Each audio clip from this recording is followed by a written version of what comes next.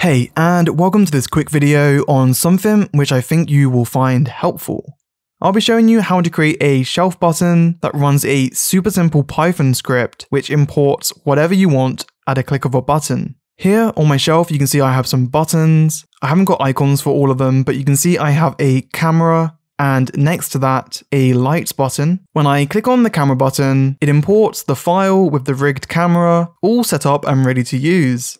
Likewise, when I click on the lights, it imports my super simple lighting setup with a V-Ray plane and dome light connected with a HDRI.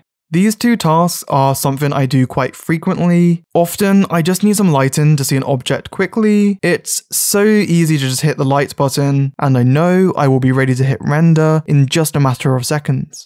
I'm sure you can think of many use cases for this, as this can be used to import any default templates for anything you might need on a regular basis.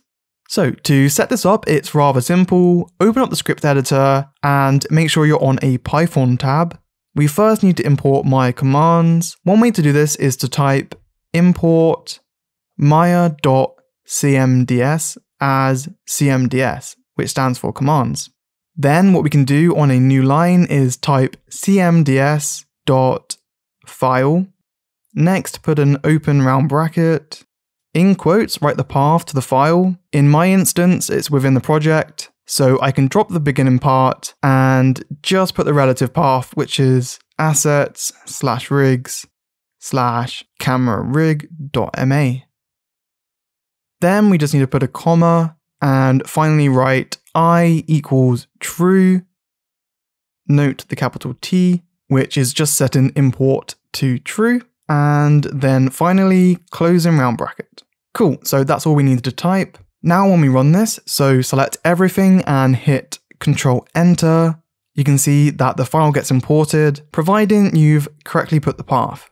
Also, with everything selected, you can actually middle mouse drag this script up into your shelf if you want, or if you wanted to, you could always put this Python script into a hotkey if you prefer. For me, I like to have a button for these two tasks, creating my camera rig, and for creating a simple light rig, which I can use for quick test renders. But honestly, this could be used for so much more. Little tricks like this can shave time off repetitive tasks, keeping you focused and your workflow more streamlined.